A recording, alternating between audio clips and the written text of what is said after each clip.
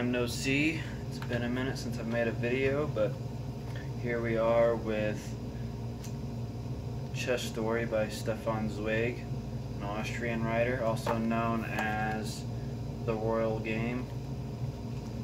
And this little novella is only 84 pages long, and I found out about this author from Wes Anderson's movie, The Grand Budapest Hotel. First time I heard his name mentioned. He was inspired by this writer for that movie, uh, mainly for the book World of Yesterday, which talks about the turn of the century, um, 1900s uh, Europe, um, which I plan on getting to eventually, but I came across this at a bookstore and I decided to get it. and this was actually the last book he ever wrote before him and his wife committed suicide um, during World War II um, after the Nazis forced them to exile and had a pretty crazy life story. But he was born in 1881 in Austria and he uh, died in 1942. He was a novelist, playwright, journalist, biographer. Um, in the 1920s and 30s, he was the most widely translated author, and he was raised in Vienna, which is in Austria, which uh, Mozart and all the really fancy like, um, not revolutionary, but uh, I mean I guess it, it, was revolutionary, but Renaissance. That's what I was looking for. Um, uh, and he also he studied a lot of Balzac, Dickens, and Dostoevsky. Um, after the rise of Nazism, he lived in England, New York, and then Brazil, where him and his wife um, passed away. Um, and also wrote he was friends with Sigmund Freud. So he was very well known.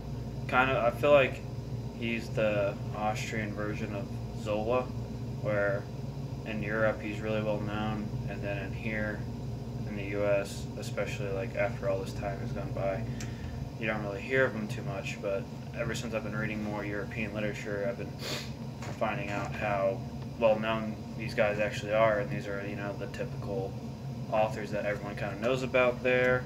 But for me, they're new. But and I gave this story a 5 out of 5. I really enjoyed it. It went in a direction where I was not expecting. It's pretty normal for the first 40 pages, and then um, you finally start getting backstory on one of the characters, and it just kind of goes in a direction you wouldn't think, and I really enjoyed it. And um, the only thing I didn't really dislike, or the only thing I did dislike was I feel like the ending could have been a little better, but I mean, it was a good ending. I just was expecting something depressing, I guess. I've been reading a lot of uh, gothic literature, so maybe that's why I just wasn't expecting uh, such a good ending. But um, what I really liked about this was, I mean, obviously I picked this up because I like chess. It says chess story, and I didn't really know any more than that, but it really has a lot of themes of like madness, of like psychological torture, and like what it means to be great in any field and how to be the best in the world. And kind of what that you know, yeah what it takes just like sometimes the cost isn't worth it. But so this ma- is mainly about the best chess players in the world. Um, the guy at the time who's the best can't remember where he's from.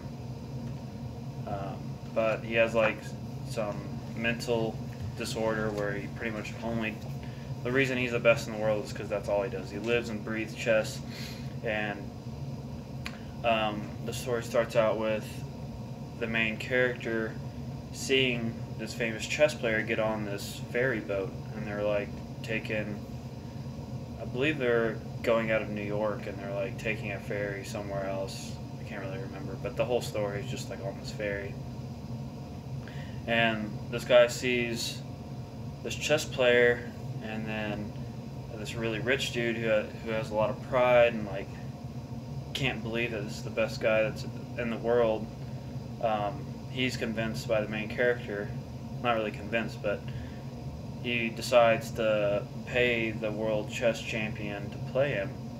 And so it just kind of goes from there, and then the game is interrupted by a guy who's sitting and listening in and watching from the side, and he ends up kind of becoming the main character. I'm sure, I feel like I'm not explaining this very well, but it's just kind of hard to explain. But um, but yeah, so it, and then it goes into this backstory of this side character who like you don't even really hear about till the middle, and then all of a sudden like 20 pages is of his backstory and like how he became like a crazy good chess player because he was the only one that could compete with the world champion. Um, and so it kind of goes into the story of like why he's so good as well.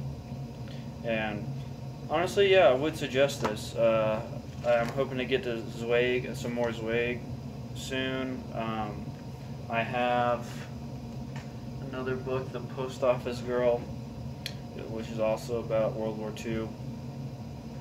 And then The World of Yesterday, which for sure want to get to. And then I have a few others written down, but I definitely would suggest this if you like stories about madness and about chess and about, you know, just what it takes to be great and you know the cost that comes with sometimes.